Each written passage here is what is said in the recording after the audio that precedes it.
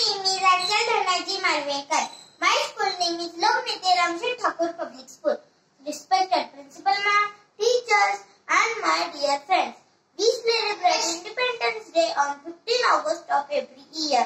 On this day in 1947, India became independent from the British rule. Independence Day is an important day in the life of every Indian. Provide Independence Day to India. We remember our great freedom fighter on this day. Independence Day is a national festival of India. Prime Minister of India hosts the national flag on this day. Various cultural programs are arranged to pay tributes to our heroes of the nation. India Defence Service conduct parade on this day. This day teaches us the real value of freedom and liberty. Happy Independence Day to all.